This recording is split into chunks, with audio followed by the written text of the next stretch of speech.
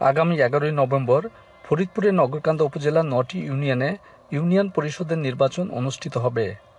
নির্বাচনকে কেন্দ্র করে প্রার্থীরা শেষ মুহূর্তের প্রচারণায় ব্যস্ত সময় পার করছেন। চেয়ারম্যান ও সংরক্ষিত মহিলা মেম্বার প্রার্থীদের পাশাপাশি সাধারণ মেম্বার প্রার্থীরা দিনরাত ভোট চেয়ে প্রচারণা চালিয়ে যাচ্ছেন। নগরকান্দা উপজেলা ছয় নং তালমা ইউনিয়নে মেম্বার পদে বেশ আলোচনায় রয়েছেন তরুণ সমাজসেবক, যুব সমাজের অহংকার মোহাম্মদ হারুনুর রশিদ। এলাকার উন্নয়ন এবং সন্ত্রাস মাদকমুক্ত ইউনিয়ন গড়ার প্রতিশ্রুতি দিয়ে তিনি চষে বেড়াচ্ছেন পাঁচ নং ওয়ার্ডের প্রত্যন্ত এলাকা।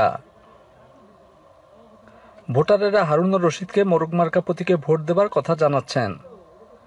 হারুনুর রশিদ জানান, দীর্ঘদিন ধরে এলাকার মানুষের সকল সুখ দুঃখের সাথে তিনি রয়েছেন।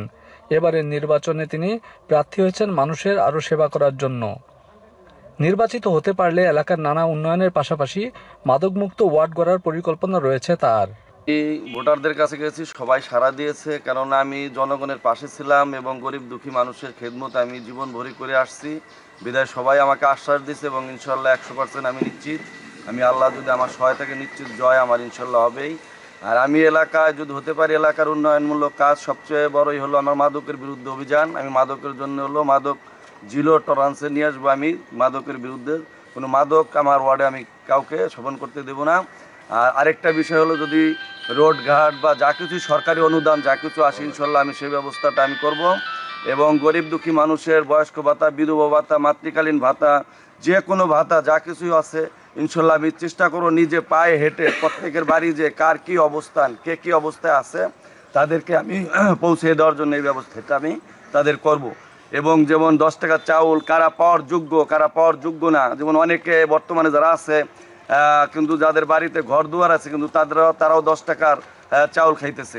তা আমার ইচ্ছা আছে যে আমি যদি আল্লাহ আমাকে বানায় আমি সবার বাড়ি ঘরে দুয়ারে যাব, যাই দেখব যে কে কী অবস্থা আছে, তাদেরকে দশ টাকা সরকার যে চাউল দিতেছে, সেটা আমি নিজে হাতে বন্টন করব এবং নিজে হাতে আমি দেওয়ার ব্যবস্থা করব।